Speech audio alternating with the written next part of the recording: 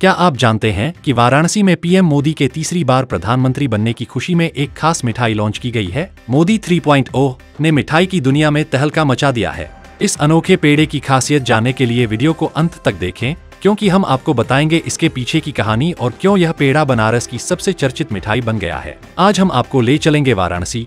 जहाँ पीएम नरेंद्र मोदी के तीसरी बार प्रधानमंत्री बनने की खुशी में एक मिठाई दुकानदार ने मोदी 3.0 पेड़ा लॉन्च किया है। वाराणसी के लक्सा इलाके में स्थित मिठाई दुकानदार सुनील यादव ने मोदी 3.0 पेड़ा बनाया है, जो तीन अलग अलग रंग और स्वाद में उपलब्ध है। इस पेड़े पर मोदी 3.0 लिखा हुआ है और यह केसरिया पीला और सफ़ेद रंग में तैयार किया गया है। खास बात यह है कि इस पेड़े के लिए सिर्फ़ प्राकृतिक सामग्री का उपयोग किया गया है, खोवा, चीनी और केसर। सुनील यादव बताते हैं कि इस पेड़े को बनाने के लिए खोवे को धीमी आँच पर भूनकर उसमें चीनी और केसर मिलाया गया है।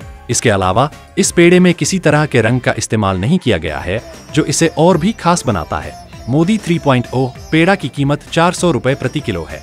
ट्रायल के तौर पर सिर्फ़ 300 किलो पेड़ा तैयार किया गया था। लेकिन इसके ऑर्डर इतनी तेज़ी से आ रहे हैं कि लगातार कारीगर इसे तैयार करने में लगे हैं। सुनील यादव का मानना है कि यह पेड़ा मोदी सरकार के पिछले 10 सालों के विकास की याद दिलाएगा और आने वाले पाँच सालों में होने वाले विकास के लिए एडवांस में लोगों के मुँह में मिठास खोलेगा बनारस की अन्य लाजवाब मिठाइयों के बीच यह पेड़ा अलग ही नज़र आ रहा है। बनारस की मिठाई की दुकानों पर कई लाजवाब मिठाइयाँ होती हैं लेकिन मोदी 3.0 पेड़ा ने मिठाई की दुनिया में नई लहर पैदा कर दी है। अगर आप वाराणसी में हैं तो इस पेड़े का स्वाद चखना न भूलें। तो दोस्तों, ये थी वाराणसी की नई और अनोखी मिठाई, मोदी 3.0 की पूरी कहानी। लोकल 18 के लिए वाराणसी से अभिषेक जयसवाल की रिपोर्ट।